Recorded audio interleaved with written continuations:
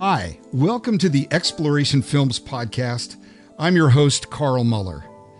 Here at Exploration Films, we offer discoveries, news, history, all through documentaries and feature films that really bring out the best in people and the best stories.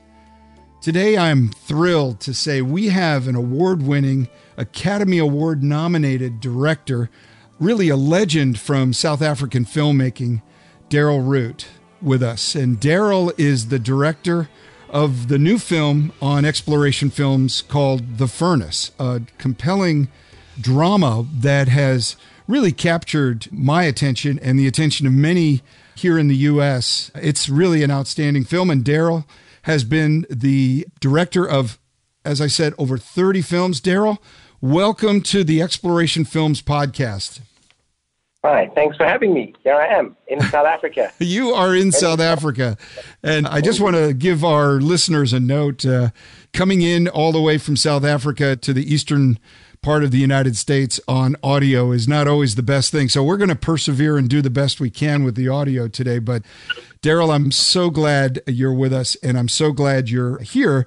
You are, in fact, an Oscar nominated director. Is that right? Yes, no, absolutely. Look, I mean, it's been 15 years since that nomination. Time goes so fast.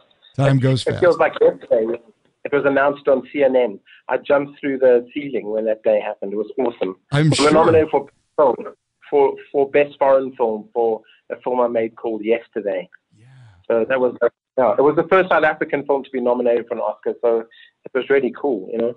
And you've actually walked the red carpet then in Hollywood. I, it's a far. I did indeed, you know. And- but you know, it's a old story. No one remembers uh, the ones that don't win. You know, so it's been you know we've just had to march on many times since then. I made another film that was close to being nominated. We were the official South African entry to the Oscars for a film called Little One, and that was about six years ago. You know, so we keep trying. You know, there's, there's always Absolutely. you know. So you are South African. You're actually in South Africa now, and you're from South Africa. Is that right? Yes, no, absolutely. You know, I did work in Hollywood for a little while. I made one movie, but it was a, quite a terrifying experience. I was very young. when I say young, about 32. And I made a film with Patrick Swayze for Disney. And it was just a tough experience. Eh, you know, just seeing films made on that level and having to deal with all those executives. And I thought, oh my goodness, you know, I, I just couldn't cope with that. So I came back to South Africa and I've made South African films ever since, you know. Well, you know, South Africa has a tremendous film industry. I don't know if many in the United States know just how committed the South African government and the South African people are to quality filmmaking. I think a lot of people would know that the uh, Pirates of the Caribbean were big movies, but if you drive past this one area of Cape Town in the Southern Cape Flats area, you see literal pirate ships down there. And that's part of the intentional investment in South Africa on movie making, isn't that right? Yeah, well, it's a very good service industry, South Africa. We've got fantastic crews. I mean, because they're working a lot of big shows now. So their level of professionalism is high, you know. So there's a lot of big shows that still come through South Africa, which is great for the crews, you know. It's different if you're a director because you're not going to get hired to direct that film. They're bringing in their international director. So as directors, we still work at a very low level. So, for example, The Furnace is a film that costs maybe let's have a look there. Half a million dollars to make, not more than that, to actually make it. So, I mean, that's kind of, look, I mean, that's still money, but, Yeah. and that half a million goes a long way in South Africa. But, I mean, it's very low budget compared to, I'm always constantly amazed when I'll see a film like, for example, I watched The Goldfinch a couple of nights ago, which I didn't enjoy. Mm. Cost $45 million to make. Five people talking in a room. Really? I mean, that's like 90 times more than a film like The Furnace. Come Yeah. on, you know? And I think it speaks a lot to the capacities, the innovation of South Africans. In fact, I would say I would commend most of my South African friends for their level of innovation in the face of some of those less resourced opportunities. I mean, almost any, well, I say this full knowing there are huge $100 million budget films that bomb completely. But if you're not a Yeah. complete you know ineptitude you put a hundred million dollars in anything and you're going to do well but Yeah, no, absolutely. Look, you can't use that as an excuse in the final analysis. Unfortunately, you do get judged against those movies, and understandably so. As a member of the audience, I'm not going to say, well, how much was the budget to that film? Oh, it's actually very good then. So that's not how it works. So no, no, even right. with your you've still got to try and somehow entertain and give it some kind of rich production value, which is difficult, you know. However, yeah. uh, you know, it does teach a lot of things, and I mean, I would defy most directors in the world to try and do what we do and deliver the quality we do. It really teaches you to think. I mean, The Furnace is made in three weeks. It's like crazy time to make a movie, you know. But you know, you do it. Well, we're to. I really want to dive into the furnace as well, but I, that sounds very odd to say. I want to dive into the furnace, but but it's a, it was a great film, and being more or less one of these directors that is able to take smaller, independent budgeted films and so forth, and really make something of them, uh, and really make a powerful impact with films like The Furnace. What's your background? How did you get started in filmmaking? I mean, is it every uh, young South African boy's dream to grow up to be a film director nominated for an Academy Award? No, no, no. Well, when I was growing up in South Africa, there was no film industry. There was a tiny film industry, and certainly they were only making very parochial government, you know, like propaganda movies, you know, mm. for a very certain, like kind of Afrikaans films, but very limited their scope. So when I was 22, I couldn't get into film school for a lot of reasons. It was a state-run film school, and I didn't fit their agenda. You know, I was very mm. outspoken. So I had to just go and make my own film. So I made a film called Place of Weeping when I was 22 that challenged the apartheid system yeah. directly in the movie. And it was a core celeb. I mean, I traveled all over the world with that film. And what it showed young emerging South African filmmakers is that you can make a film about your country and a parochial film, but that is also it's got meaning for the rest of the world, you know, as well as local audiences. And it broke through big time. Bang, I was gone, you know. Well, you know, what's fascinating to me is many of your films really touch into that reality, the reality that you've actually lived as a South African over these last several decades coming out of the apartheid era, coming into the new South Africa. How have those experiences? You mentioned the one film, A Place of Weeping. How have some of your other films reflected some of that background for you? You know, I mean, those days it was pretty, it, well, well, I don't want to say easy because it's not fair for the guys who are on the receiving end, but you knew where you stood. So I could make films like Sarafina or Cry the Beloved Country that were directly challenging the status quo and trying to provide, you know, an alternative point of view or a challenging, a contrary point of view to say, no, enough of this, we need to, you know, change the system, etc., etc. So you had an agenda it was a powerful agenda.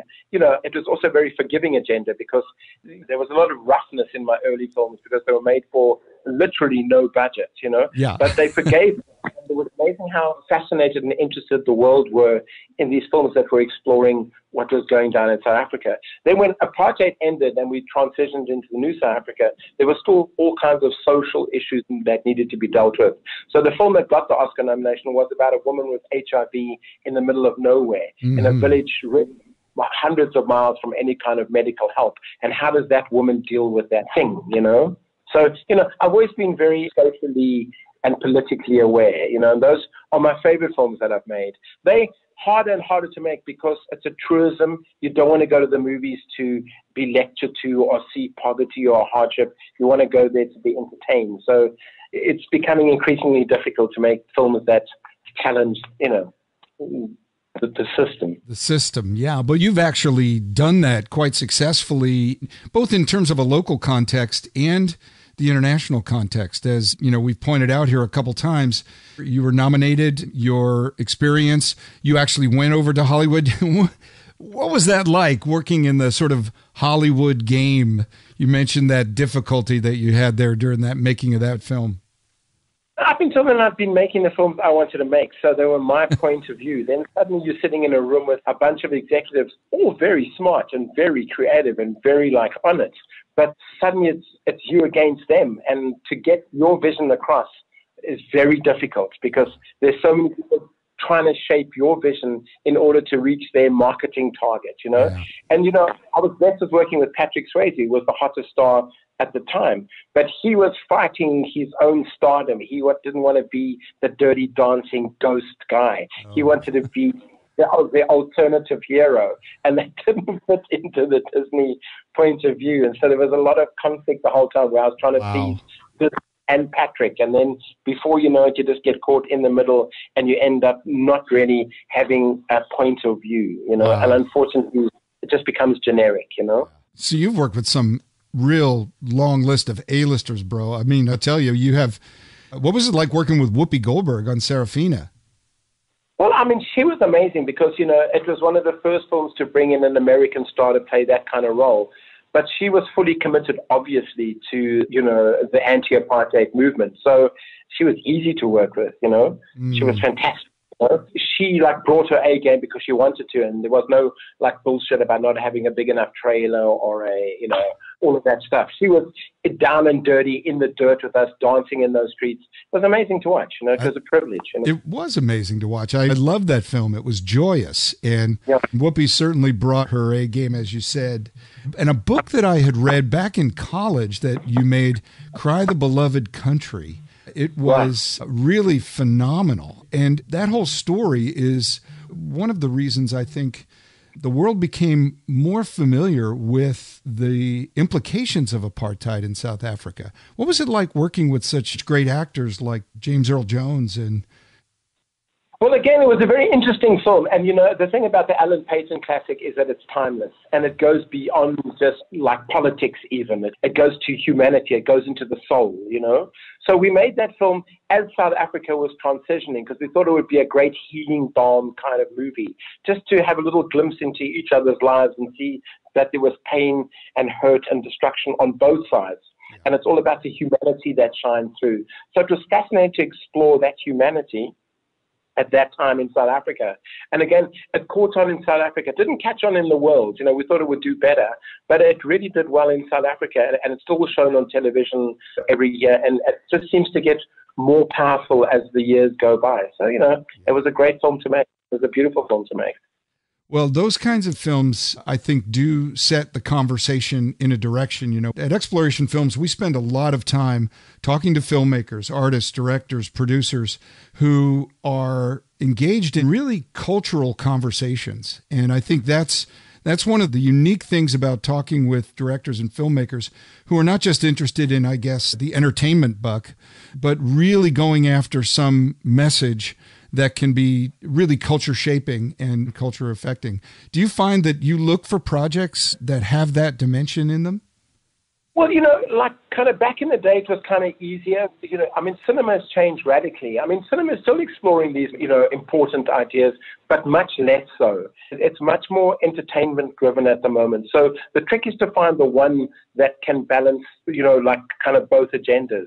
Mm. And, you know, hard to find, you know. But I mean, if you can do that successfully, it's wonderful. So you can, it can be entertaining, but at the same time, it can be a powerful social commentary. So for a recent example, let's take last year's Roma, which won the won the Oscar. Is that it's a very interesting film because it's entertaining, it's beautifully made, beautifully acted, but at the same time, it's got a powerful hidden message in there about social classes and, you know, the bourgeois versus the servant, blah, blah, blah, blah, blah, you know?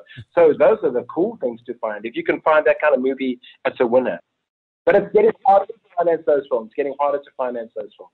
Do you feel that's the case, that there are fewer and fewer studios uh, willing to risk, you know, the oh. sort of profit motive for a story that can potentially be on the edge that way. Yeah, well, you take the film that won the Oscar the previous year, I think it was Moonlighting, or maybe it was the year before even.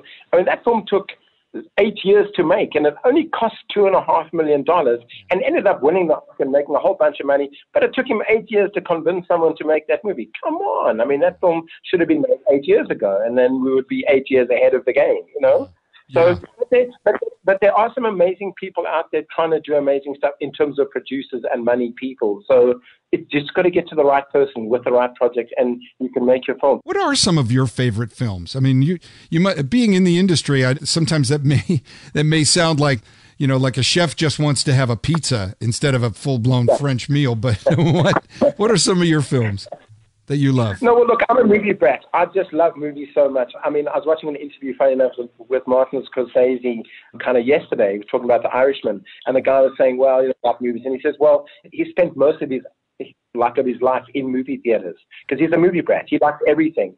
So, look, I grew up in the 70s, you know what I mean, when I was 16, 17. So I grew up with all those seminal 70s films like Taxi Driver. Mm. So those are still my favorite films. And whenever I'm feeling low about the state of cinema now, I will go and watch Taxi Driver or Marathon Man or The French Connection or even The Exorcist to see really, really solid, beautiful filmmaking. Because those film directors were on it, man. The Godfather, Indeed. Apocalypse Now. You can't you can't beat those films, man. They are incredible. Well, I think you and I share a common generation because those are some of my favorite films too.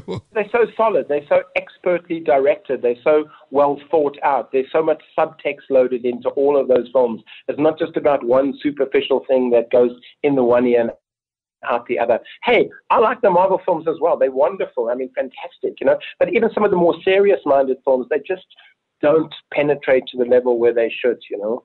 Yeah. I think that's always the trade off, right? I think in some ways, Marvel tried to get a little bit deeper in some of their themes about loss and about relationships and things like that, and not just, you know, explosions mesmerizing people.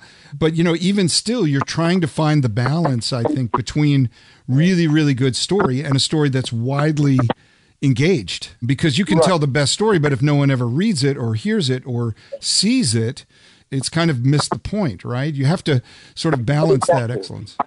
Yeah, yeah, no, absolutely. Look, I think a film like Avengers Endgame, the last one I saw, was very moving. Gee, was how does a superhero make you cry? But it did make you cry. It did. Because it is loaded.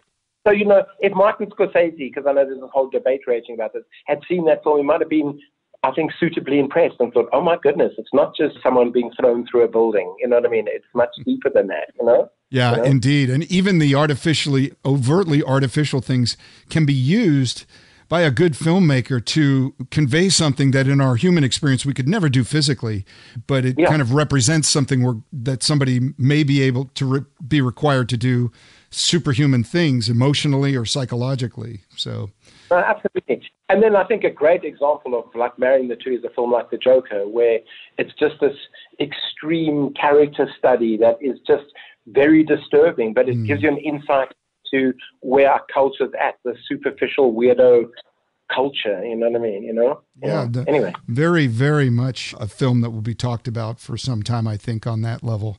Let's talk a bit about The Furnace, which is the Exploration Films distribution of that film and a very, very fascinating subject. Maybe you could recap from your perspective what the storyline is, and then we can delve into some of the aspects, I think, of that story itself. Yeah, well, it's just about a woman. She's just gotten married, like been only married for a couple of days. They're going on honeymoon. They they like runners. You know, there's a whole running cult in the world. So it was interesting reading about runners when I was doing research. They are fanatical. Them and cyclists are weirdos. Um, so. So, like, he gets killed on Christmas night, and it's just before they're due to come to South Africa to run this this big race called the Furnace, where you run through the African wilderness alongside animals and heat, etc., etc., etc. And he's killed in the accident, and she's left with a single lung and like virtually a cripple. And it's about how she, um, her road to recovery so that she can go and run the race in memory of her dead husband, you know? And along the way, she meets an African doctor who was exiled in America but could never practice being a physician because he doesn't have the American qualification for that. And how he helps her on this journey back to Africa and to run the race and you know she completes and while she's running the race she goes through a series of trials and tribulations in which she even sees an angel that appears to her and helps her. So it's got some kind of spiritual meaning. So the way I filmed it, even the way I filmed the landscape, I try to give it a lot of spiritual subtext. Sure, sure. Uh, it just brought, as we were talking earlier before the podcast, even I. I've spent so many happy hours in the South African bush and in so many places that the film itself evoked in my heart. I really did enjoy the film. It had that runner culture, uh, athletic vibe. You could. Well, that's a lot that they're into. Yeah. Yeah, and it was really great, but it was also, I think, a film that dealt not tangentially, but really directly on some very, very important themes, uh, much the way some of your earlier films have done as well. You know, I was struck, of course, you mentioned the spirituality. I think there is a transcendent spirituality throughout the whole film of the power of the human spirit, the capacity for forgiveness and forgiveness of oneself as well And of course, I think you really handled very, very well the character that is the angel on the run. And I think the implications of that for all of us is hey, maybe all of our lives are, in a sense, a furnace. And we are all faced with these spiritual and emotional and psychological and even physical challenges. How do we deal with them and how do we overcome those? Yeah, no, no. Well, I think that's all loaded in there. I mean, the furnace isn't an actual race. There isn't a precise race like that. There are races through the African wilderness where you do run amongst animals, etc., etc. But it is more, I guess, metaphorical than it is literal. You know what I mean? You know.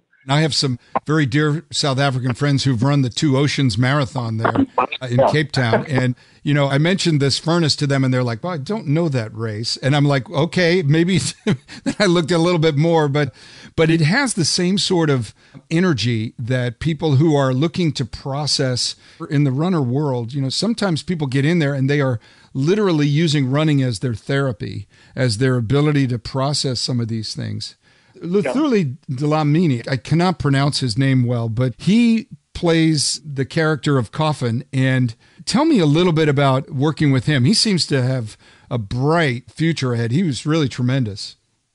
Yeah, no, he was fantastic. It was my first film with him. I'd always wanted to make a film with him, and he really blew me away. His name's his name's Luthuli Dlamini. You know, Luthuli. he's a wonderful actor. Yeah, he's been living in South Africa a long while. He's from England, so he's half South African, half English. You know, oh there's a depth to him that is is amazing. You know, you've either got it or you don't have it, and he's got it in oodles. You know, you can just film his eyes, and they say a million words. You know, he's that kind of guy. You know, yeah. and I think without film would have been a lesser movie. So I was very happy to have worked with him, and that he brought, you know, like what he brought to it, the humanity he brought to it was great, you know. Zilly was really a central character for me as I saw through his lens very gracious lens related to his time in America and the limitations that this really brilliant man had come to terms with. In the directing process, a film like this, do you talk about bringing those sorts of subtle undertones to the character out into the performance? Yes, you can't load it with the subtext. The subtext is everything. It's about what's underneath what's happening in front of you. So if you can communicate that to your actor, it helps so much. You know, but I think he also understood it intuitively, as did Jamie. She could see in there the deeper spiritual thing we were going for. I mean, it's a big word, you know. I mean, and I mean hard to achieve because she was, you know. But yeah, so you know they've understood that instinctively, and I just managed to, to like guide them along by putting them in the right shot, the right converse, you know, the right setting, the right, you know. Well, and you know, Jamie Bernadette was uh, phenomenal as well in the film. Really a, a, very beautiful and compelling character whose own challenges she overcomes very, very well. I think one of right. the biggest challenges early on is the role her parents uh, sort of play as sort of those characters that are sort of locked in their bigotry and their and their own racism. How did you yeah. look at taking on that theme in this film? Well, you see, again, I mean, that's all part of the subtext, and that's kind of interesting that you're perceiving that you, you know, talking to me now. And I think because I mean that's built in there to have those kind of implications. So, you know, I mean, it's a bit of gentle racism. It's not deep racism, but you know, racism is in all of us. It just is. It's a, it's a, it's a thing that comes with the territory of being a human being, no matter where you live. You know, you're just going to be prejudiced. You know what I mean? You know, if you're Italian in the, you know, it, it, it, it's it's a thing that we have to deal with every day. So I thought it was quite cute the way she goes against her parents and just says, you know, really, mom, witch doctors, all that stuff. You know, exactly. You know what I mean? You know? Exactly. Well, it's a great way to address a current cultural conversation that in far too many contexts is all about confrontation and all about anger. And this yeah. is about struggle, yes, and this is about yeah. overcoming some real obstacles, but it's done with such good humor and such uh, inspirational character. I think oh, Jamie yeah. does an excellent job with that, really does. Like she does. You know, there's nothing better than as a director when you work with actors who are committed. And once I started working with her, I was just amazed and fascinated by how committed she was, you know. And that is always for me fascinating about the mystery of actors, or is how much commitment they bring to it. And you know, I've worked with a lot of actors now, a lot of them, you know, and there was a guy called Robert Patrick I once worked with, and it was on a on a simple little HBO thriller where he played some kind of Alaskan tracker who comes to find the killer of his sister in San Francisco, and I was just amazed at the depths of research he had done into trackers in Alaska, the way he had built up his backstory, and and I thought, what? I mean, he doesn't burden you with that, but he is the actor, it's behind his eyes when he's acting the scene, yeah. and you can feel it instinctively, and the camera knows that something deeper is working there. And that was the same with Jamie and like kind of Luthuli. They were both generating that other thing. You know, there's nothing worse than the actor who thinks he's his backstory is more important than the top story, and is always everything from that point of view. They can drive you insane. You know what I mean? You know? Yeah, it's like, but wait, what's my motivation? you know, I'm like, well, yeah, it's yeah, I mean, great. but it's the truth, you know, and that can just drive you crazy. Look, I mean, one as a director must always be open to all of those suggestions because that's what you do. You're the conduit. You're the first member of the audience. So it flows through you and you mustn't shut yourself off to that. A lot of first time or, you know, directors do shut down that. And I used to do that. I used to shut out the actor completely, but now I understand they're the most important person because they're speaking to the you, the audience. yeah. Know? And, you know, so many of the great actors will point to their directors as giving them the opportunity to have that messaging to the culture. You know, the synergy is really powerful. And, you know, we never know the impact that some of these things are going to have. I mean, that's one thing that must be extremely interesting to consider for you as a director. Sometimes you make your art, and yeah. if you're a visual artist or you're a performance artist, you can actually see how this happens in front of you you can go to the museum and see your or the gallery and see your artwork displayed and you can see what people's impact are it's very difficult for an independent film producer and film director like yourself i'm sure to imagine someone sitting in front of Netflix or in front of their streaming service and watching your film or yeah. even in a theater and, and yeah. recognize the impact. So it's got to be a little bit of a hope and a prayer for yourself too. like we're sending this out there and I hope it touches someone. That's the one, man. You know, and I mean, if it meets ten people, that's cool. You know, yeah. almost that you just done. Yeah. You know, would you well, I do think you should get a contract. This is my own career advice to you. Um, you should get a contract with the South African Film Tourism Board because you have a beautiful, beautiful setting for the film The Furnace and all of your films, really, that embrace issues within the South African context. Really just do a heck of a job promoting yeah. the beauty and the culture and the people of South Africa. It's well yeah. done, man. Thank you. Thanks, All right. And now, I want to bring on the star of the furnace, Jamie Bernadette. Jamie, thanks for coming on the Exploration Films podcast. Oh, thank you so much for having me. I'm happy to be here. Well, it's something of a privilege. We mostly get the chance to talk to uh, directors and sometimes producers, sometimes the people behind the films, but sometimes it's really great to talk to someone who's in front of the camera, someone whose career and work has been in that way. So, uh, how long have you been in uh, in the film industry? Uh, I think about 13 years now. Wow. What did you start at like four? Did you? No. No, I started right after high school. Very good. Well, um, so getting involved in a film like this, just so people know, The Furnace is an incredibly dramatic story. I won't give away any of the plot line because I know that's a horrible giveaway when you do, but it's a tremendous story that encompasses so many really deep and moving themes that takes place largely in Africa and with a dramatic storyline that I'm really glad to say that Jamie, you've given a really stellar performance. But what was it like to work with Darrell Roodt? Now, Darrell's Academy Award nominated, couple different films, Sarafina, Cry the Beloved Country, Yesterday, incredible director from South Africa. What was it like to work with him?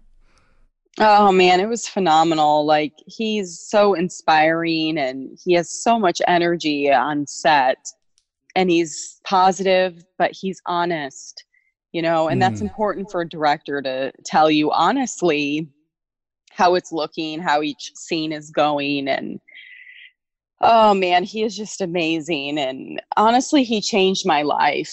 He made me Really? believe in myself, whereas before I didn't really at all. Wow, in some ways, that may even mirror the personal story of the film. Truly, right? So, how did you get involved in the project? Well, Sam, uh, one of the producers on the film, contacted me. He had seen a movie that I was in. I'm not even sure which movie it was. And he's like, I don't remember which one it was when we talked about it later. And I don't know. He said, This is our lead. And Wow. yeah, and then we had a Skype conversation maybe for like 10 minutes. And that was it. Wow. So, what eh, maybe uh, listeners can hear the furnace and go, What is that? What actually is the furnace? The Furnace is a race. It's a mega marathon across the African bush. So you're running with a lot of animals. They call it the big five, like rhinos and elephants and cheetahs and you know. Worse than running in Um, the streets of LA? Yeah. Maybe not. and yeah, that's what it is. And it's really hot, of course. So Yeah, that's why where, they call it the furnace. whereabouts in Africa were you shot? It was absolutely beautiful photography and cinematography. Oh, thanks. Yeah, outside of Johannesburg, well outside of it. We shot on um some farms and things like that where there was a lot of open bush. Yeah. Well, it actually is very compelling from a visual standpoint as well. I I know many of the people who watch it will never have been to Africa, but for myself, I've had a chance to be there in a lot of different experiences and times in the bush, and it it just had that feel, that resonance, you know, that sort of hot, dry, soul crushing endurance that's required to do a race like that. Are you a runner in real Mhm. life, in the life that you have? Yeah, I run recreationally. I mean, I don't compete. So, but I do run and exercise and things like that. So, but was I prepared completely for the film? Not to the extent that I ran. I mean, So- there were days that I would run all day for literally 12 hours. I mean, stopping in between, but you're not prepared for that. If you run even a couple hours a day, you're not prepared for that. So, so some of those scenes of exhaustion they were real you were really Yeah. exhausted yeah, for sure. I was sore. I mean, yeah. You're not going to go away, are you? So you help me? You're going to need more than just a trainer to succeed in all of this. Yeah, Ah, Ladella. Your breathing has improved remarkably over the last year. Strength isn't an issue. You're obviously as strong as an ox. Uh, that, and as stubborn as one as well. But the African bush isn't to be trifled with. You know, it'll get into your head, pick you up, spin you around, chew you up, and spit you out. It'll snuff your life out in a split second. You're going to have to acquire a whole new set of survival skills. You're going to have to learn how to survive on 20 hours of sleep in a week of running. You're going to have to learn how to balance your water intake with the amount of weight you can carry. You're going to have to get through this on 25,000 calories just, just to survive. And then, of course, there's the heat. Getting lost, eaten by uh, a wild animal in the bush. I mean, do you really, really want this? I mean, are you ready for this? That sounds awesome. well your performance was great and, and it, you know it, it has some other cast members that i think are fantastic. The african actor Luthuli Dlamini I'm- i hope i'm saying that correct. I will go with what you call him in the movie coffin. Yeah, yeah, uh, who, yeah. who, who plays the doctor he was absolutely compelling as well. How was it to work with him? Oh man, he's fantastic. Isn't he just so natural without even trying? It's just he's just gosh, he's so talented. And yes, a wonderful person too. Some of those scenes where you're first encountering him and his situation, I won't go into too many details, but let's just say he is way out of place in American society because of his capacities and his backgrounds. And then he meets your character, and there's a real bond there. How did you guys explore that and explore the nuances of what your character was going through versus what he was able to relate to in his experience? I mean, for me, if my character doesn't know him before we film, I would like to go into the scenes not knowing him, if that mm. makes sense. Yeah, so explain that a little bit. Yeah, it wasn't like Luthuli and I didn't sit down and discuss at length our characters. Mm-hmm.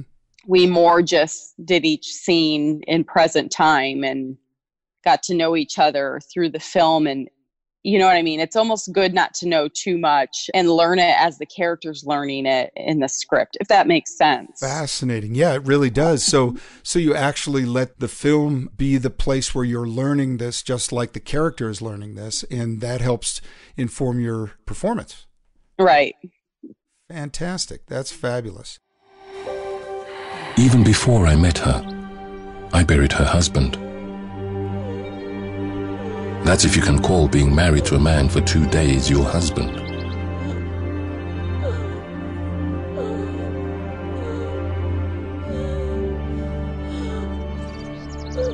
She never noticed me. She was too bent over with that oxygen mask of hers to notice anything. I hate you! So, Jamie, I would love to know a little bit more, and I know everybody listening would love to know a little bit more about where you come from and your background, and how did you get into the film industry in the first place? Uh, well, I come from a town called Kankakee, Illinois. It's about 70 miles south of Chicago. The youngest of nine. I grew up in a really big family. Wow. And yeah, I was the only one interested in acting out of my family. I was doing theater as a child and in high school, and I would watch movies and act them out. And and so then, yeah, I came out to Los Angeles and started acting professionally. Fantastic. Your character experiences something in this film. I won't give it away either, but an incredible sense of loss and such as well. How did you position yourself for portraying that? I mean, I think the loss that she experiences is almost unfathomable to most people, but yet I'm sure it happens every day to someone. How did you prepare yourself for that?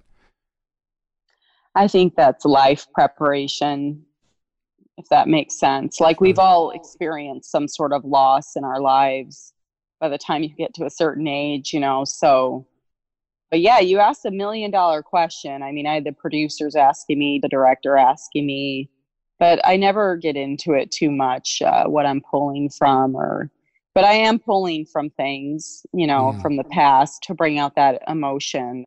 Well, it's there and it comes out so strongly. Certainly, it sets the tone for the rest of the film about your journey. And I don't just mean the journey to Africa, I mean the journey through healing and through all of that. And there's some parts of the healing thing as well that I felt like were so strongly delivered. Have you ever had to heal from something that was significant like that, or have you always been a healthy character? no, no, I've had to do a lot of healing in my life. But yeah, it's definitely stuff that I use in my acting just kind of probably a form of therapy for me to be well, honest, I've heard that to be before. honest. I've heard that before and it's absolutely something that comes through very very strongly your your ability to grab onto that hope and determination in the process of healing is extremely important to the story and and I think you did a fantastic job about that. Courage does not always roar. Sometimes Courage is a quiet voice at the end of the day, saying I will try again tomorrow, and the tomorrow after that tomorrow if necessary. And the, and the other dramatic part that I really wanted to touch into is the idea of faith. You know, you have a scene, again, I won't give this away. You have several scenes with a character that I think I can give it away is like an angel or is like someone who's speaking from a different place into your life to give you faith and encouragement along the way. What role does faith play in helping you get through some of those difficult things? Oh, well, I mean, it's huge in the film. This idea of faith and believing in God, you know, she loses touch with that when she loses everything, as we'll often feel bitter, you know, when we go through huge losses in life and setbacks. Um, one of the themes in the film is, is about letting go of that bitterness and that anger and believing again in in God or whatever spirituality you believe in. So well, it certainly came through. And one thing I would say, you know, a furnace, that's usually somewhere you're refining something. You're either you're burning and you're burning away hmm. things mm. that are not pure. And mm. I think what happens in this film is you see this character, your character, go through this burning away of these things that are in her life and she comes to the end of the process refined re- not mm-hmm. refined in sort of a mannered way, but in the process, like you refine gold or you refine silver, and it comes out pure. That's a really powerful statement about faith. And I think, again, your character and the way the circumstances happen in the film really brings that out. So I wanted to say good work. Very, very excited to see the impact this film has. Running is the loneliest sport. It's just you, the road, and God. You fight against the road, the elements, but mostly against yourself. It is here that the true strength is shown. When, and against all odds, you push yourself farther than even you thought you could go. Did you actually film around some of the animals that were in the film as you were mm-hmm. running? Did, oh, yeah. How'd that make mm-hmm. you feel? Were you like a little vulnerable in that context? Um, I mean, I was fine around the cheetahs and the elephants. The hyenas, I mean, I was in the tree. They can't climb trees, and they had me actually strapped into that tree. So if I fell, you know, you weren't going to get mauled by hyenas. Exactly. So I don't know. I think I'm a pretty calm person anyway. And I think animals can feel that. Like dogs usually like me, children usually like me. So I don't know. The, the animals were fine around me and I didn't feel fear. I do remember one time though, when they were doing aerial shots, they were in a helicopter. Mm. And I was running through the African bush, which was this farm and they had a ton of animals, you know, in that area, which could be dangerous. And it was me and one other person on the ground. And I thought, man, if if they attack now, what's anybody gonna do? You know? Yeah. So exactly. I did I did have that thought, but well, yeah. it crossed my mind. This is an amazing race. It goes on for days and you're running through wild Africa. And most of the predators in Africa are triggered by motion. They're triggered by an animal running. They're going to run after that animal. And I wondered, you know, what what must I'm sorry to let you know that right now. Maybe that was a surprise while you they didn't tell you that while you were filming? No. Okay, well. But it uh, makes sense. That's funny. I mean, yeah, you feel comfortable around the cheetah until you realize it runs at 55 miles an hour. It can run you down yeah. yeah, that's true. I was more worried about the crocodiles, I remember. Oh, Because right. I, I yeah. yeah, I had to lay down by this river and I was like, I don't know about this, you guys. Because, you know, crocodiles are known. They just come out, grab you, and drag you off. there you the go. It's in seconds. And right and I'm laying there vulnerable by myself because we're doing a shot. So they stood around like on the perimeter after yeah. that, like but some of the crew, which was really sweet. Like I don't think he's gonna eat all of you, but I mean. yeah, a crocodile I don't trust. And they all. have prehistoric brains. You can't reason with a crocodile. They say for all humans to come to Africa is for them to come home. Mary must have felt that better than most. Alone in the wilderness, surrounded by the ancient bush and its wild animals.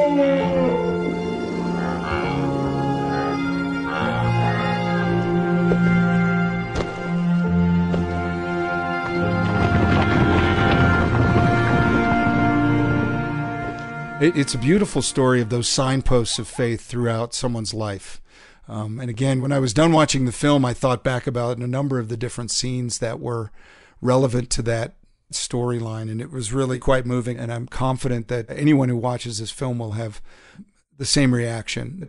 That whatever challenges we face, whatever things that we're engaging with, God is there, faith is there to help us get through it.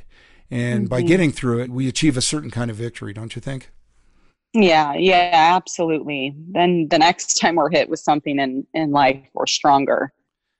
You know, you can only go through so much but when you go through something again and you're just much better at it, you know, that makes sense. No, for sure. So do yeah. you do you have like a thought on what the big message of a film like The Furnace is all about? What's the big thing that you'd think somebody would take away from a film like that? I feel like it's going to help people who have suffered great losses in life, great setbacks. I feel like it can help them heal. Mm. As films can. I mean, they can be very powerful. I've heard of people watching films over and over and over again because they've helped them heal. So I hope it really does touch people who are suffering, any kind of suffering, whether it be the loss of a a loved one or just a breakup in a relationship or i mean i think it can be very powerful to help someone come out of that loss. Well i agree. That's a powerful way to focus people's attention on this film. I, I really hope it gets all the attention it deserves. It's an incredible inspirational film.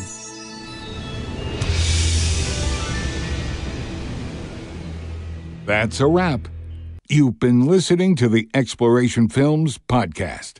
ExplorationFilms.com.